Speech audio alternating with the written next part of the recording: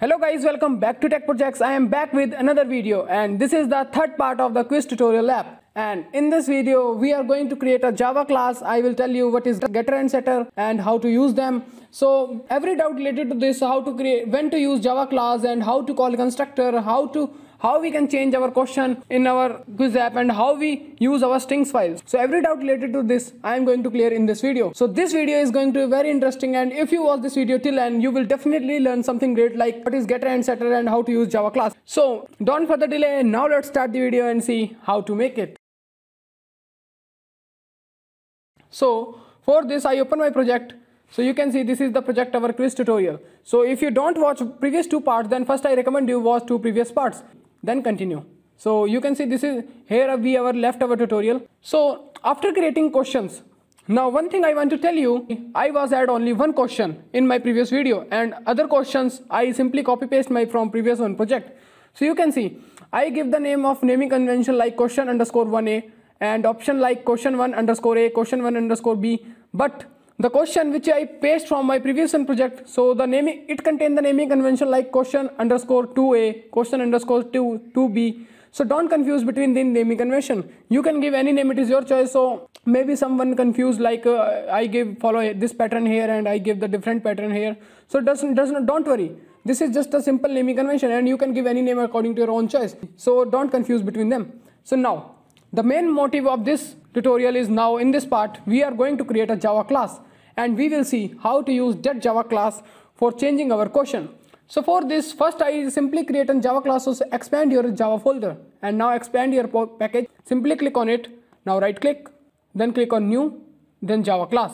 Now you can give any class name, it is your choice. So I, I simply give answer class. Now inside this Java class, first declare some variables. I have to declare six variables because why six variable? One for question, one for answer and four for options. So for this, simply declare a six variable of int type. So I simply type here private int. Then simply I type here option A, option B, option C, D, question ID and answer ID. I give this naming convention but you can give any name answer ID. So now after creating these variable now we have to create a constructor. So don't confuse. I am going to explain everything. Don't worry. Simply type this code for now and after just one or two minutes I will explain whole code. So don't confuse and don't worry. I simply create a constructor for this. So I simply type here public then simply type here answer class. As you already know how to create a constructor we have to define whether it is public private and also we have to write the constructor name same as a class name. So our class name is answer class but you can use according you have to use according to your own class now inside this I have to pass six parameter so what are the six parameter int one for question so I simply type your question ID. But be remember, give the different name here. You can see here I give the question ID but, but here I add some extra E. So don't confuse, give the different name in constructor otherwise it's going to be crash. So be remember you have to give the different ID names inside your constructor. Most important thing of this video. Now for option A I simply type here option A. You can see I give the small a and not capital A. So be careful here. Now second option option b. Third option option c. Fourth option option d. And the last one for our answer id so i simply type here answer id e. So you can see i give the different name everywhere. Now we have to use these parameter and also after using these parameter we have to take values from these parameter of constructor and assign these value inside these variables. So later i will tell you how values come inside these variables. So don't confuse and don't worry. I am going to explain whole code. First first of all simply type the code with me. So now i have to assign value inside our variable which is main variable. And our main variable is question id without e we remember. And inside this we have to value which i get from constructor. So here you have to type question id now inside option a i simply type here option capital a equal option a simple. Then what I have to do? I simply copy this code from here control C. Then I paste it three times. And I replace it by B C D. And the last one is B C and D. And only one thing is left so by mistake I give here a small d also. So here you have to give capital D. We remember because here you have to give on the left side we have to give our main variables which we declare above. Now the last one is for answer id so simply type here answer id equal answer id now after this we have to create getters. So just after one minute I am going to explain every code. So don't worry. Simply create getters here. So simply press alt plus insert after this bracket. After the ending of the constructor bracket simply press alt plus insert after this simply click on getter and now select all by shift and simply click on ok that's done now you can see our java class is ready now let's see how to use this java class for changing the question and how also see how to use our strings.xml for this. So how we can access our every question? So we are going to create an array and which type of array? Class type of array which I created now, answer class type array. So I am going to create this kind of array and I am going to access my all question with, with the help of array index. So this is the main logic. So let's see how to create an array of this class type. So simply I type private, then your class name then two breaks, braces then simply type here array name so I simply type here question bank but you can give any name to your array now simply type new then type again your class name then take two curly braces and at last simply add a semicolon. Now our array is created successfully. Now let's see how this array work. So here you can see I create a constructor inside our java class and here I create the array of that java class. So if I click if I create an object of this Java class then constructor get automatically get called. So this is very simple logic. As you already know if I create an object of any class then its constructor automatically get called. So if you don't know Java then first I recommend you learn little bit of Java. If I create an object then its constructor automatically get called. So here I am going to create a simple object of this array inside this array. So I simply type here new. Then how to create a constructor? Simply type your object name. Now my constructor what take? It takes six values. So here i have to pass my six things so what are the six things? And here you can see this is our strings.xml so first i have to display my first question. So you can store your question in any order. So it is completely depend on you. So i am going to follow 1 2 3 4 5 6 7 8 but you can store in any order. So here i have to pass what thing? r dot string dot question one r dot string dot question one underscore a like this. So hopefully you understand everything how why I create this constructor.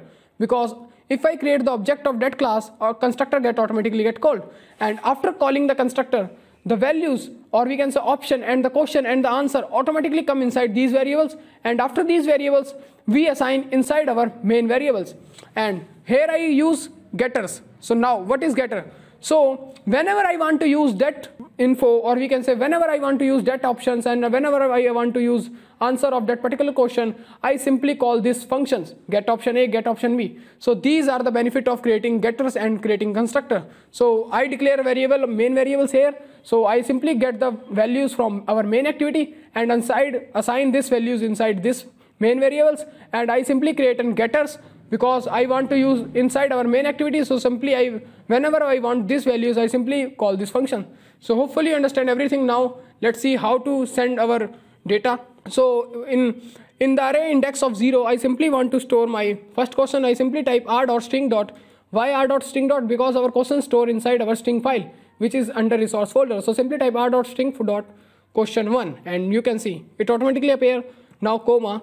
Now I want to pass first option first because here you can see I give the option A option B. So you have to pass in this pattern so now question 1A so in string.xml you can see I assign my id name question 1A question 1B so I say simply type these names.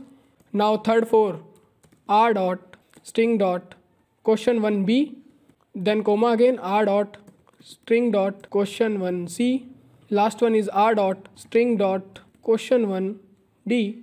And at last I have to pass answer. So r dot string dot answer 1 then comma then after this now if I want to pass my second question I simply again eh, create an object of that class new answer class and inside this I simply can pass my second question So don't confuse between naming convention as I already tell you. I give the naming convention here question 1 underscore 1 question 1 underscore a and here I use a naming convention like this question underscore 2a. So don't confuse between them.